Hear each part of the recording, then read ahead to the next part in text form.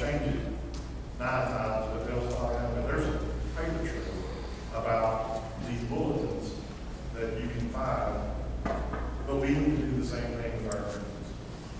Our agreements need to be readily accessible to not the church, on um, not just the local church, but our members. It's important that they have it. It's important that it's easy. It's only a few clicks away. So uh, there's a lot of information on there.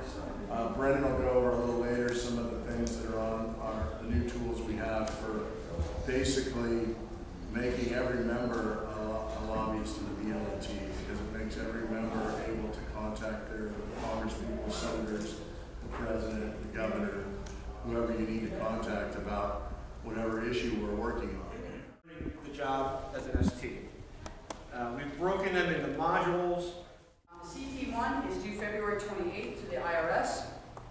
A copy of that is due to the National Division March 15th, or no later than March 15th, let's put it that way.